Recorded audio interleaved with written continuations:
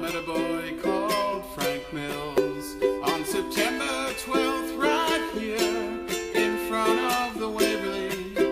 But unfortunately, I lost his address. He was last seen with his friend, a drummer he resembles George Beatles.